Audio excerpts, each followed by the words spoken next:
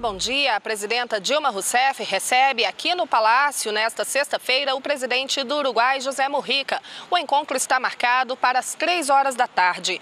E ainda hoje acontece a plenária final e o encerramento da segunda Conferência Nacional de Proteção e Defesa Civil. O objetivo é avaliar e criar propostas para melhorar a política nacional de proteção e defesa civil. O encontro reúne aqui em Brasília, desde a última terça-feira, 1.500 participantes de todo o país. Eles discutem iniciativas voltadas para prevenção, gestão de riscos e respostas aos desastres. Ana Gabriela Salles, direto do Planalto.